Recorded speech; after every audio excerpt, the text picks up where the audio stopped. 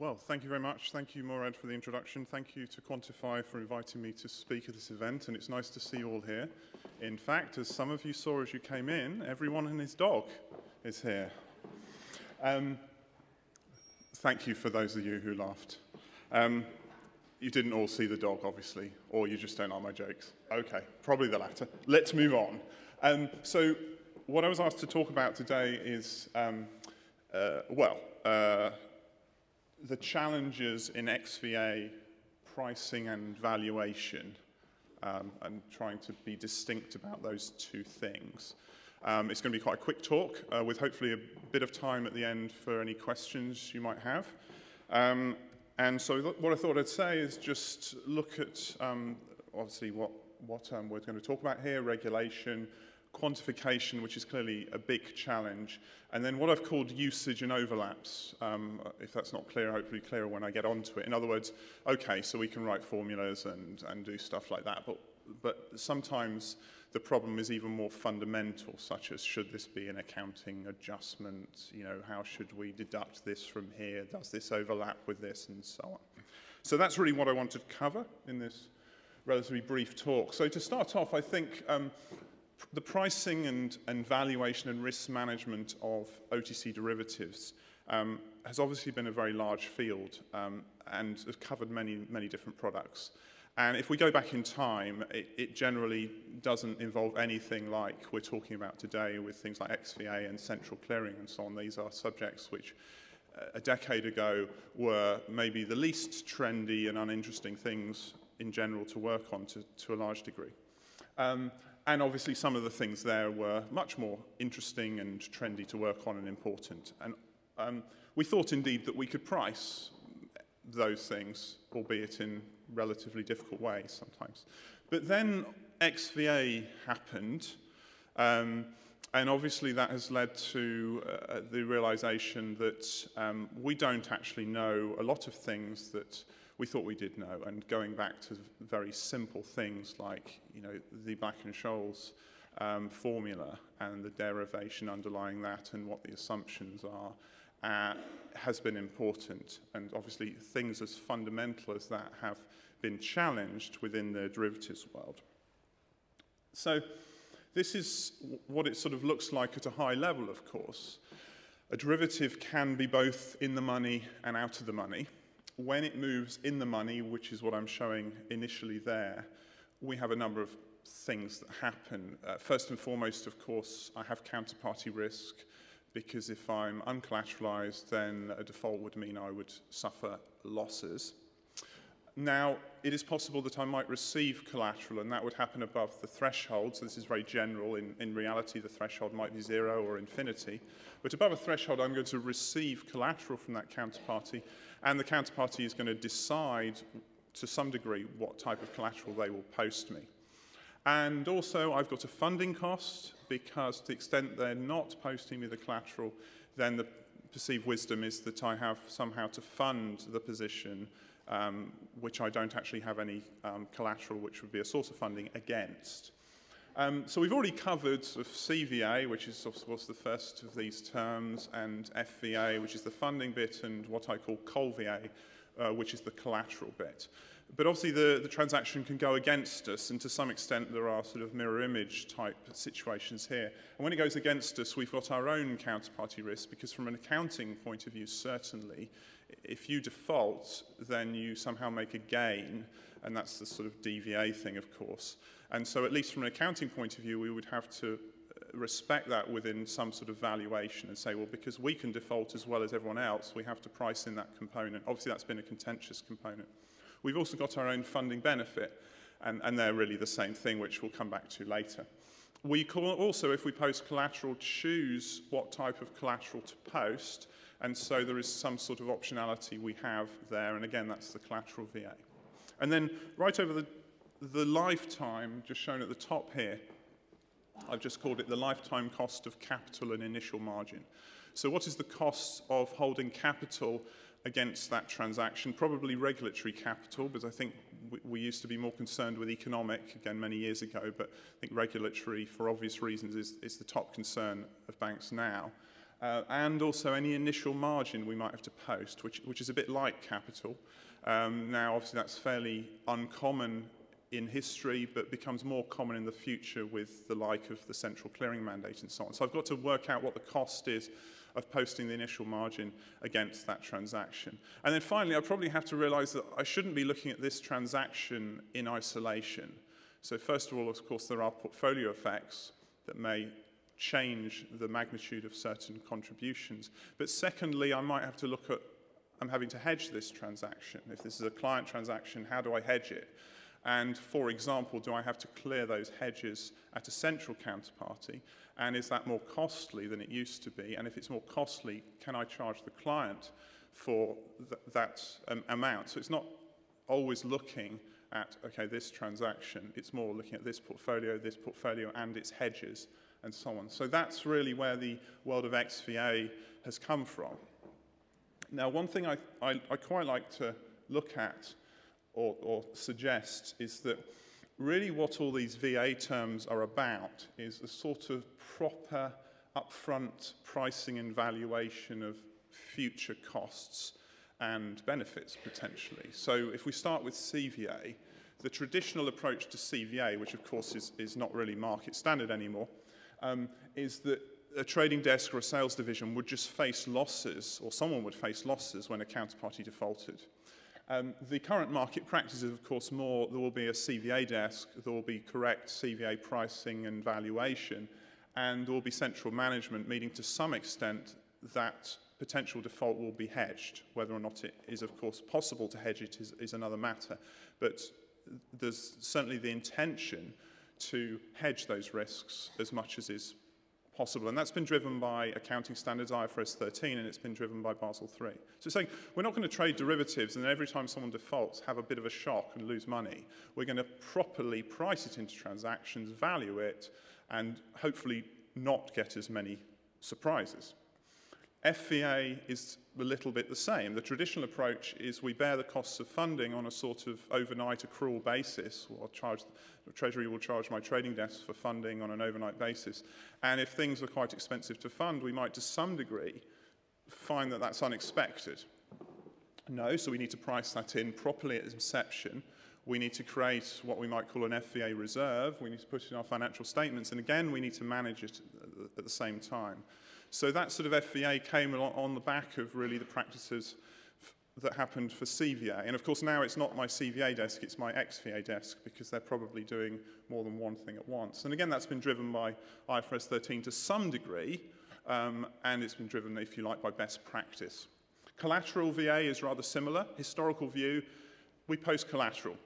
The job of the collateral management team is to make sure we receive it when we need it, and when we have to post it, we post it on time and we don't make mistakes, and we follow up when people don't post to us, and that's all fairly sort of um, logistical and back officey, if you like. Whereas now the role is, okay, what's the value inherent in our collateral agreements, and how can we optimize that value as much as possible, post the right kind of collateral for us, substitute if it's possible, and get the pricing and valuation correct. So again, we don't have any nasty surprises with some losses in the future. Again, best practice. And then finally, KVA. It's quite a hot topic at the moment. Again, the traditional approach is a trading desk might get charged for their capital usage. The KVA approach would be more, no, we price it in properly up front and some sort of profit gets released over time to meet our required capital hurdles. Um, and so therefore, again, there are no surprises. We don't find there is a business that is using a lot of capital and is therefore not really profitable in a return on capital notion and we decide one day we want to shut this business down. Uh, we would have known that more likely at inception of transactions rather than getting the nasty shock later on, and we would not have traded at those levels or, or whatever. So if you want to know about sort of what's going to happen with KVA over the coming years, you know, the obvious history lesson would be, well, it's sort of going to go the same way as CVA, FVA, and so on. Um, although obviously it's always, always very difficult to answer questions like that. Will banks start reporting KVA in their financial statements? Risk recently did a survey. I don't think the, the picture is completely clear, but, but certainly from the history lesson point of view, you would, you would say it's likely. So, um, regulation has obviously um, had a bit of a part to play in all of this. And one way I thought would be interesting to just go through that, um, just on one slide, is to say, well, suppose we did the following transaction sort of 10 years ago. 20-year interest rate swap, collateralized, um, two-way CSA with cash and bonds, and, and now it's quite in the money because of rate movements. Now, I think it's probably fair to say in 2007, we wouldn't have considered much of an XVA component when we priced this swap, if any, because it was collateralized, uh, and so on and so on. Now, if you look at all the different things that you would have as a problem, if you like, the fact you've got to think about CVA. Yes, it's collateralized, but auditors would not be happy with you ignoring CVA on collateralized transactions. Funding. Funding costs could arrive if, arise, for example, if you're uncollateralized to some degree, or if you struggle to re repo the collateral you would receive. Collateral. Counterparties utilizing their cheapest to deliver optionality to give you the collateral you probably least want. Capital. Did we price in enough capital on this transaction? Well, we probably didn't price in regulatory capital. We certainly didn't price in the CVA capital charge because it didn't exist in 2007. We may now have a margin period of risk of 20 days because of disputes and so on and so on. LCR, NSFR, okay, we need a liquidity buffer for a three-notch downgrade of any liquidity outflows. Now, when we had this CSA, we may well have had ratings triggers in there to say that if we were downgraded, we would post more, or if the counterparty was upgraded, they might post less. And at the time, that didn't really seem like a big deal. Whether or not we think we're going to be downgraded by three notches, we now have to hold a liquidity buffer. So if we were, for example, having to post initial margin on that downgrade, that is now costly. We might as well pretty much post the initial margin today, because we've got to hold it in high quality assets anyway. Leverage ratio coming in as well, an additional sort of capital constraint potentially. Uh, and finally, the clearing mandate and the initial margin, or sorry, the bilateral margining rules coming in, is that going to affect maybe the hedges of this transaction and make them more costly? So you can see that regulation and the change in market practice and accounting has just sort of piled on the sort of things I would worry about and, and the XVA components I would want to price into this transaction. And were we to want to novate this now, we certainly be, wouldn't be doing it under the sort of same sort of pricing terms as we would have done at inception 10 years ago or whenever. So that's regulation. Then there is quantification. Um, so, I mean, very basically, that's what we do when we quantify XVA. We have some sort of profile which represents a cost of exposure or a cost of funding or whatever, cost of capital, and we integrate over it in some fashion to get our XVA, and that's the whole concept of I want to know it today properly rather than experiencing a loss, a, a, a, surprise loss, if you like, in the future. But embedded in that, what are the sort of quantification problems? Well, um, there is a curve problem. How do I get the credit curve of my counterparty um, the single name CDS market is relatively illiquid. It's probably not got any more liquid over the last few years, especially for the type of counterparties we might be looking at, like relatively small corporates who may be uncollateralized, therefore. Um, they definitely don't trade in the CDS market. Um, some of our counterparties that are secured may well do, but they would be of less, less note anyway. Um, the mapping methods that we have to use to come to estimate the spread of our counterparty to drive our CVA formula, where you have to basically say, I don't really know where this credit trades in the market. All I know is some sort of categorization of it, such as it is a single A corporate in Europe. I have to come to an appropriate spread for that counterparty, and that spread will be volatile, and I will be subject to that volatility, but it's almost sort of unreal volatility because it's not a real spread I can necessarily go out there and trade. Uh, that's all very difficult and, and fairly subjective and may, maybe creating volatility you don't really think you should have. Um, the collateral side of things, you now need a sort of multi-curve framework with OIS uh, alongside LIBOR and tenor and cross-currency basis and so on all respected. Um, and possibly also government bond curves reflecting repo markets where you might be receiving or posting bonds rather than posting cash. And the cheapest deliver pricing is very challenging for worrying about things like substitution. Can I, can I freely substitute collateral? Um, and what's the inherent optionality in being able to do that. Um, on the funding, that's FVA or, or, MVA, which is what I call initial margin. Um, well, what is my funding cost? Is it a short-term, a medium, a long-term funding cost? How do we really fund a derivative? We don't term fund it, probably, but then again, we don't sort of roll over very short-term funding either. So it's somewhere in the middle. How do we even define that? What about the credit quality of our counterparty? So I think my cost of funding is this, and now I'm going on trading with a AAA counterpart do I really charge them my cost of funding? Because if I would presumably trade with a lot of AAA counterparts, my funding situation would improve. Um, it's not AAA counterparties who are meaning that I have uh, this funding cost potentially. So I might believe somehow I should charge a high quality counterpart less, which seems to make sense. Indeed, the cost of funding should relate to the quality of the asset you're funding.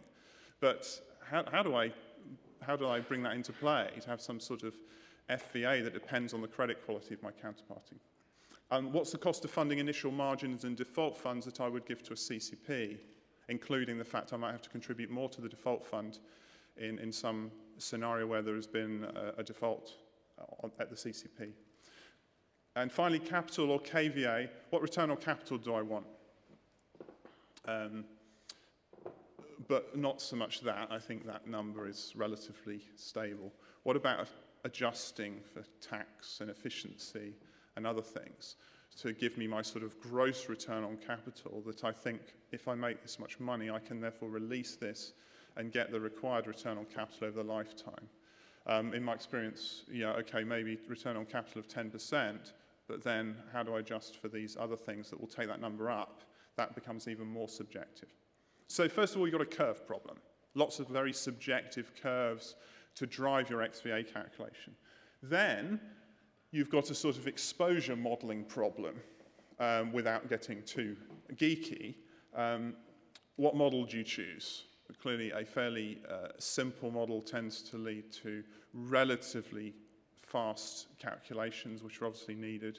Um, more complex models would be better, especially for exotics, where exotics here is anything not really, really boring. Um, it's a multi-dimensional framework, so I might be model modeling many, many different risk factors, interest rates, FX rates, and so on and so on. And I'm needing to deal with collateral as well within all of that. So there's really a, a very subtle balance.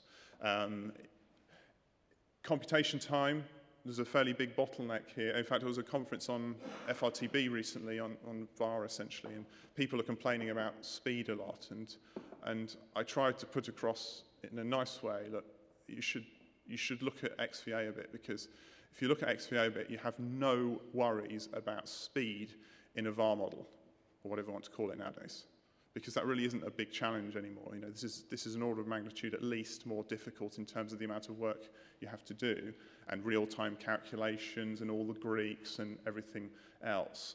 Um, that's led to techniques like AAD, um, GPUs being put forward as potential solutions.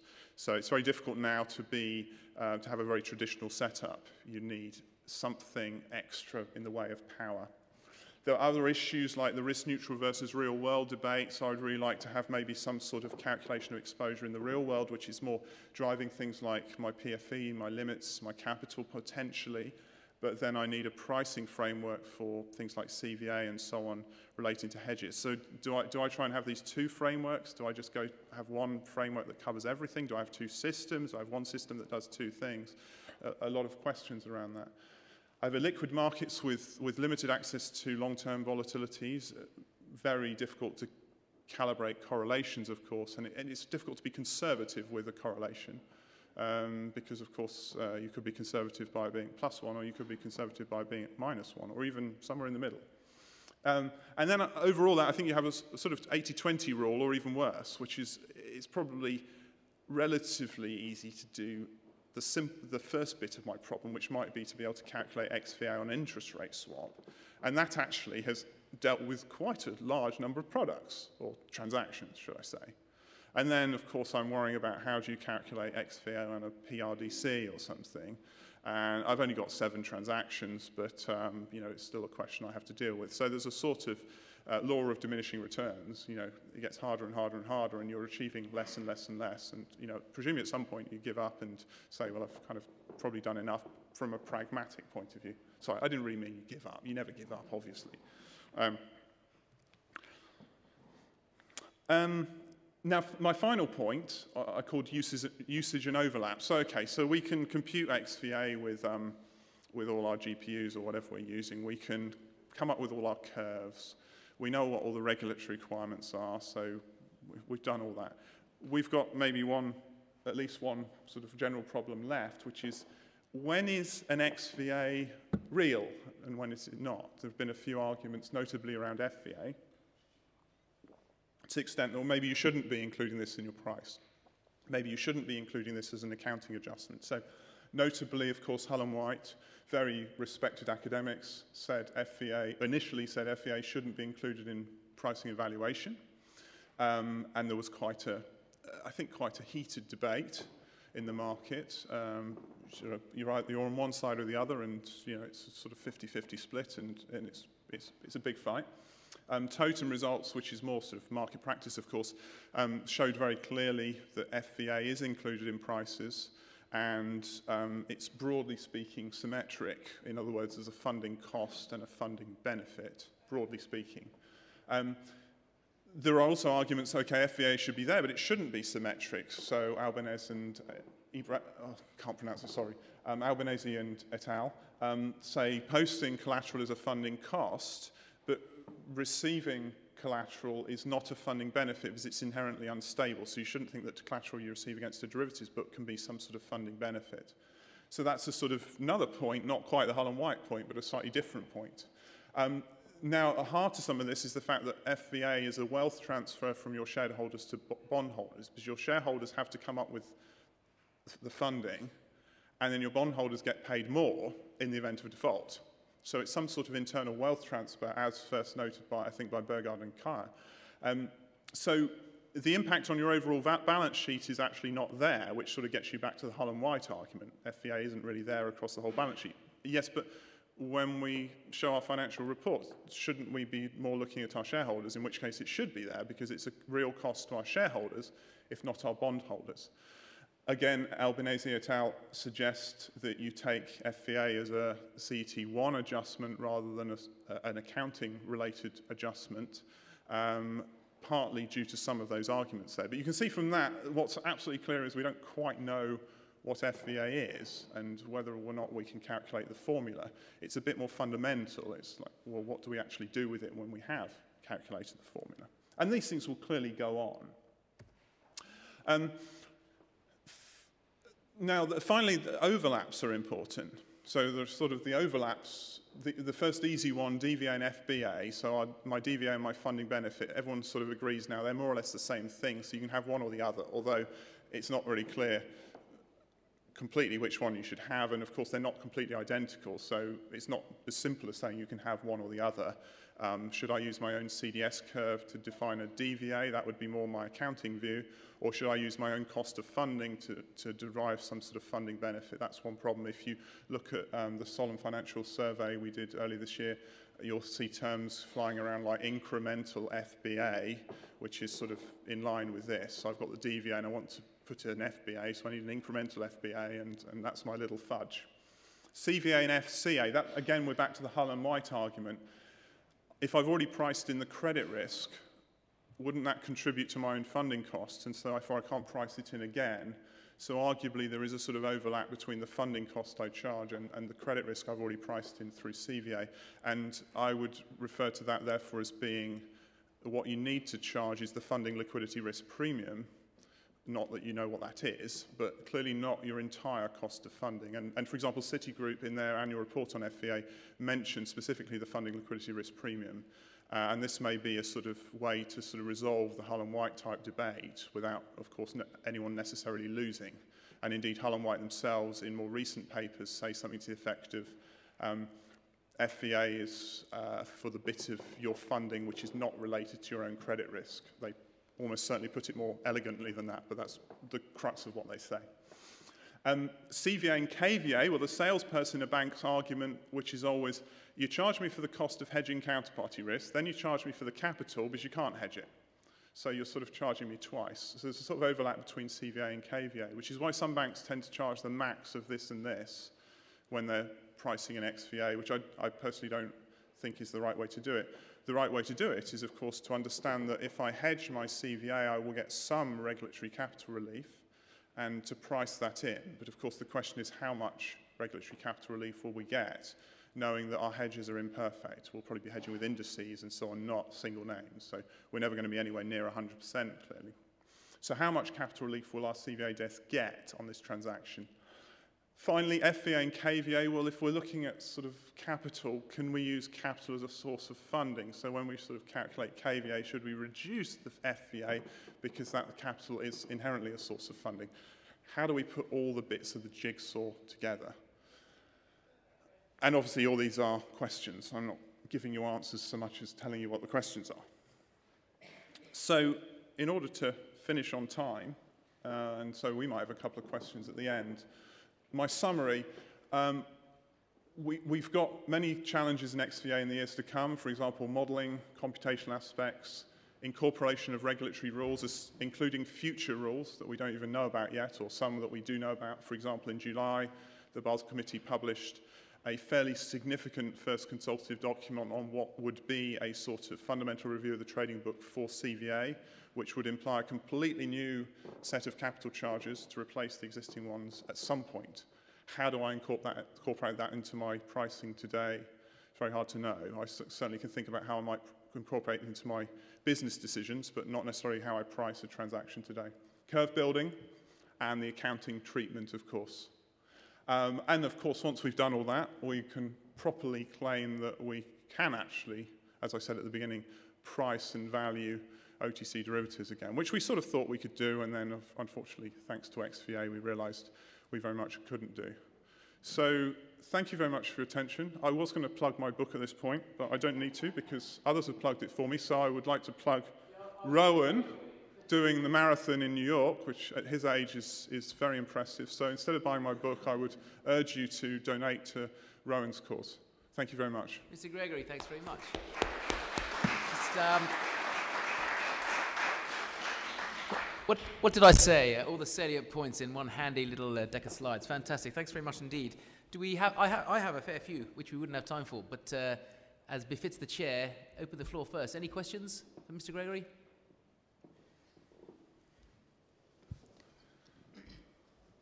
Jon, many thanks. I've got a question. Can you elaborate on the uh, correlation bit and the quantification? You mentioned there's the correlations cannot be as conservative. That's one effect. And the other one is around the copulas. You mentioned Gaussian. So if you have the choice, which one would you go for? Did I really mention a Gaussian copula? Well, you mentioned Gaussian up there. Did I? Oh, oh, it's on the slide. Okay, so I typed it. Okay, sorry. um, Yes, I mean, there are, there are several levels of problem, I think. First of all, one, when we start talking about correlation, as we normally define correlation in uh, financial mathematics, then straight away we may be talking about the wrong thing because, of course, correlation, as we talk about it, linear correlation is only one form of dependency. So first of all, I hope that my notion of correlation that I'm using to quantify here is the right notion to be applying within my model. If that is the case, then depending on my uh, portfolio, a high or a low correlation for that particular risk factor may be beneficial or not. So I unlike volatility, I can't say, well, if I take stressed correlations, they're bound to be conservative. Uh, they're probably more likely to be close to one or minus one, so they're probably more likely to be conservative, but, but I can't be sure.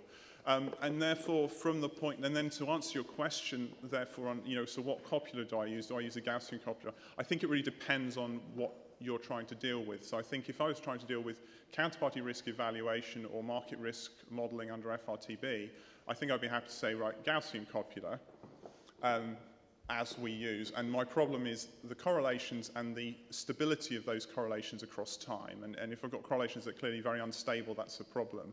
But obviously regulatory rules allow me to have that notion of correlation if I'm dealing with something like wrong way risk on a sovereign FX transaction, I think I probably need to go right back to the start and say, well, I, I, maybe I don't even want to think about correlation here. I want to think about how the FX rate is related to the, to the default and the fact that there is more, more of a causality or something inherent in there.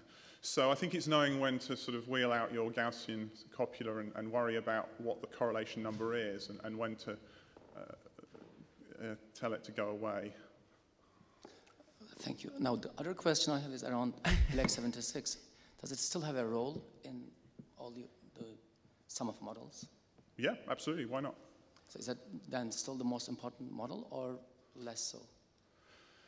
Well, you know, ideally, I wouldn't have to rely on that. And, and ideally, I wouldn't be simulating my interest rate with a Hull and White model and then valuing something with a Black 76 model and worrying about, hold on a minute, I've simulated negative interest rates and the black model doesn't allow negative interest rates, so it can't actually price something when rates are negative. But rates probably should possibly go negative now, not very much, but I, I'm happy with the model that goes negative. And I should probably replace all that problem by having a much better model and so on. But I have to be pragmatic.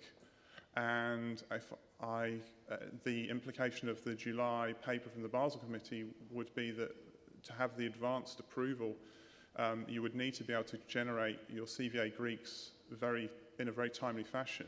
That's fine for FRTB in general because, of course, saying you need to comp compute Greeks for a derivatives book, you know, if you can't compute Greeks for a derivatives book, why have you got a derivatives book? Um, but compute CVA Greeks for a derivatives book, you know, that's a much bigger challenge. There are by far more, uh, and you're probably going to have a lot more issues with things like P&L explain. So if that's my problem, I'm, I'm probably not as worried about the fact I'm using a black 76 model as, as the underlying valuation engine. Thank you. Righto. Um, just time for one very quick one, actually, if we may. I make it a minute on my watch. Anyone? No? Okay. Uh, just uh, if, uh, very interesting run through of uh, Mr. Hull's, sorry, Professor Hull's position, the chap who, um, whose book I had on the desk with me at Ambrose uh, nearly 20 years ago, so I yield to no one in my admiration and respect for the man. But we were on opposite sides. We shared a panel at a risk conference, I think 2012, 2013, giving each view, and he has since recanted some of it. And the, the expression is um, where the FVA that he, I mean, I've always thought it, it's valid. Um, the tenor, very good question you ask. It's not overnight, but it's not the full term either. But it ain't overnight, especially when you when your bank has just written a 70-year inflation index derivative. I'm looking at a particular direction here. Um, but he he didn't recant, and in fact, what he did also admit to was incorporating the term liquidity premium. So that part of your funding cost that isn't your own credit risk, mm-hmm. but is a term liquidity premium, and the TLP is specific to each bank. It isn't the uniform. So uh, he did kind of come back on that. Otherwise, thank you again. I really appreciate that, and I'm sure we all did. So big round of applause again. Thank you. Thank you very much.